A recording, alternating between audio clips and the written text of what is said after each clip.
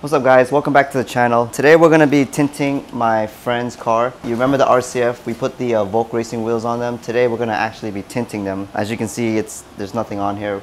We're gonna be putting on 20% uh, all around. So the back glass, the quarter glass, and the front doors are gonna get 20% and the front windshield we're gonna do a 55 just to protect the interior this car probably doesn't have it or we don't know about it yet but the older Lexus like our cars like my Lexus ISF dashboard actually gets melted and things like that. There's a recall for them, but some reason the ISF doesn't get that recall, but the IS 250 and 350 does. But anyway, tinting the car and keeping it cool will definitely improve the quality of the interior over time, especially in Florida. So we're gonna be doing that today. I got my friend um, Chris with me from work. He's gonna help me out. It's gonna be super easy. I'm probably gonna time lapse the video and maybe talk a little bit while I'm recording or while I'm installing. So um, let's get right to it.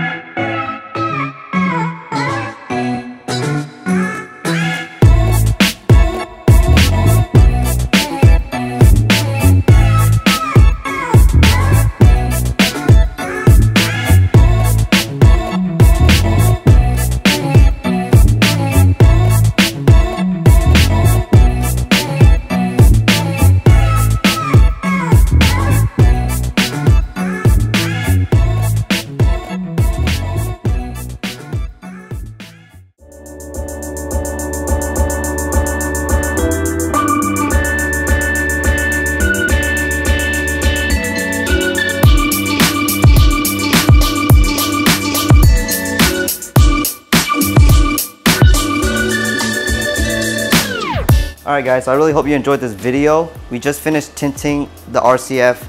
We used 20% on the back of the, the car and the front doors and we used 55 in the front. Um, as you can tell right here, it doesn't even really look tinted at all. You can still see the dashboard and the interior, but since it's black, it's gonna be a little harder to see inside.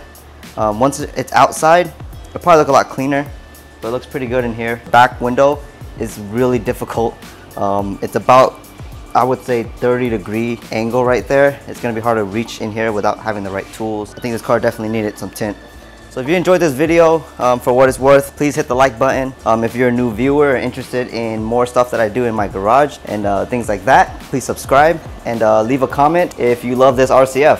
Uh, Ultrasonic Blue 2.0 on some Mag Blue TE37s, freshly tinted, and um, hopefully some more uh, modifications to come. So until then, peace.